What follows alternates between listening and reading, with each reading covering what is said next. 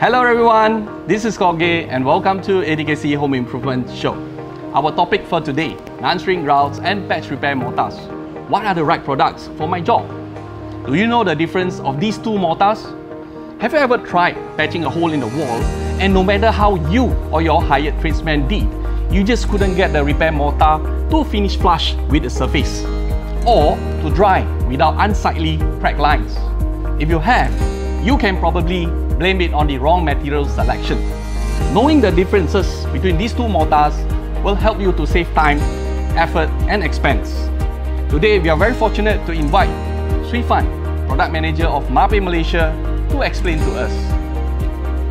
I would say the main purpose of non-shrink grout is for precision grouting and formwork repairs, which you can pour or you can pump into a confined space mm -hmm. and let it cure properly.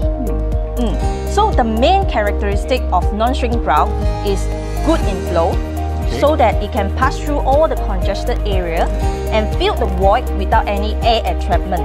Wow. Mm. However, for patching mortar, you need something that dry in consistency, mm -hmm. good bonding, and resistant to the shrinkage crack that can apply vertically and also overhead application. This is our Mapefill 318 for wow. non-shrink grout, which is highly flowable. Mm -hmm. And this is our Mapegrout Patch 218, which is newly developed for patching mortar, consists of fibers. Mm -hmm. It can help to reduce the shrinkage cracks and also high bonding strength with good tensile strength.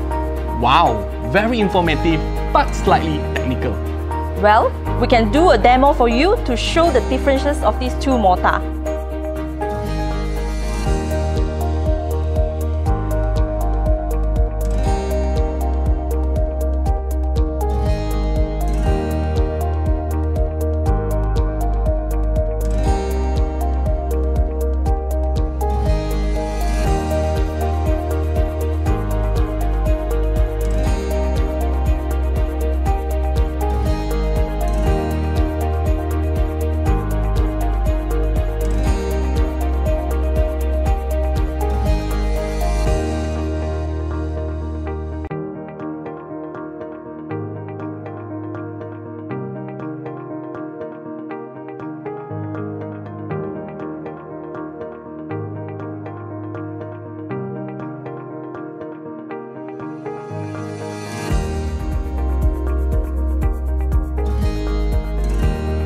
Come, Ang, look at this. Can you see the difference? Yes, yes, yes. I've never seen such tests before. Hmm, we at Mapei has always emphasized in choosing the right product for the right application. Thank you, Sui Fan and Mapei Malaysia for this knowledgeable product sharing. You're welcome. So I will see you in the upcoming videos. Bye-bye for now.